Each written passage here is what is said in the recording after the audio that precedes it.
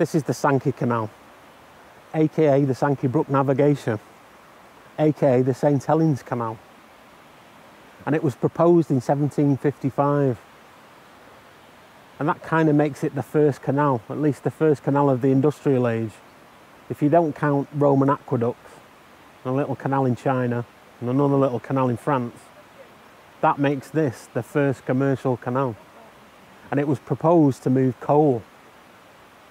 In 1540, the Eltonhead family accidentally found a seam of coal whilst digging clay pits. And that really kicked off coal mining in St Helens, in particular a place called Sutton Heath. Before the building of the canal, the only way to get that coal to Warrington to take it to market would be by pack horse. So they proposed this canal and they built it wide enough so it could accommodate Mersey flats. Mersey flats are about five metres wide. They're long, flat, wide boats that were predominantly used on the River Mersey. Coal was transported to the River Weaver, where they had a lot of salt works and the coal was used to evaporate the water out the salt so we could have lots of lovely delicious salt. The last company to use the canal was the Sankey Sugar Company and they used it right up until the 1950s, getting their sugar from Liverpool, down the Mersey, onto the Sankey Canal, all the way up to Earlstown.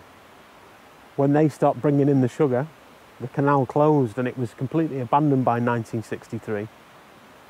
But in 1985, a local group calling themselves SCARS, the Sankey Canal Restoration Society, decided that they were going to clean it up a bit and actually filled sections like this back up with water and maintained it. They've still got a plan to extend the canal four miles at the St Helens end to link it to the Leigh branch of the Leeds Liverpool Canal so that canal boats could actually come on the canal for the first time since 1963.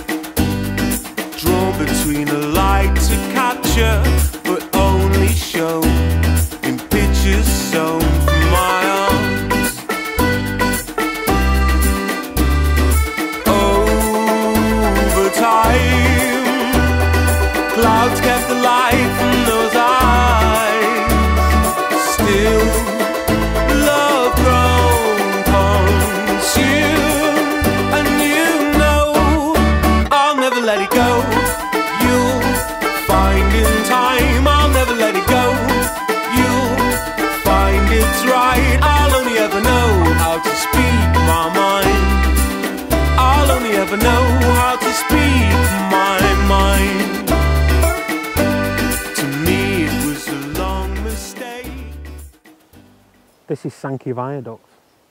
And this is definitely the world's first railway viaduct. That's because it carries the world's first railway, the Liverpool-Manchester Railway. The viaduct was designed by George Stephenson. The railway was designed by George Stephenson. And the little funny steam engine, the yellow one, Stephenson's rocket, was designed by George Stephenson. The railway was opened in 1830 and this viaduct cost £46,000, which in today's money would be about 1.3 million.